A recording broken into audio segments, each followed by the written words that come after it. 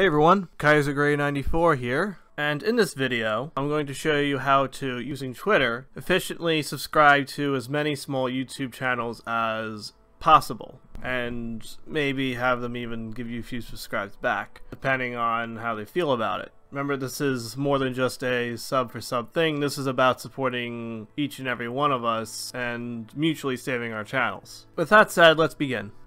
Alright, so once you've gotten up to a YouTuber's Twitter page, you're going to follow them. Then you're going to, using their link that they provided here, go through that on, a separate page. That is, should they have one, and just follow that link to their channel and subscribe. Preferably on a separate page to save you uh, some backing. Unless you like pressing back. I don't. And after that, you're going to just let them know about that.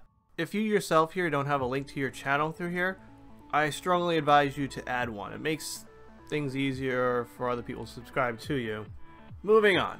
By the way, do check out SG Plays' channel. Infinite Curiosity as well. Alright, so as you can see, I'm already following and sub to Infinite Curiosity. However, pay note to the suggested here. Open up the suggested in separate tabs and check for YouTube links. See if a uh, link is to YouTube, and if it's not, just, just ignore them.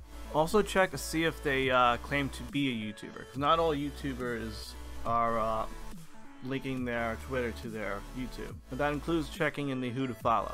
It would be easier if they did, but not everyone does that. Keep looking until you do find another YouTuber, or a small YouTuber I should say.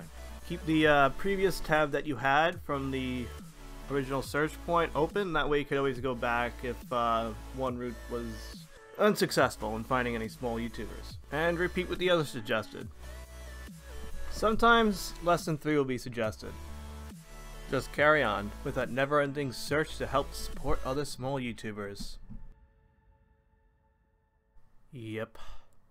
In my next YouTube video, I will show you why following the small YouTubers that you subscribe to on Twitter can be a great help in staying subscribed to those small YouTubers that you're trying to support. Until then, bye.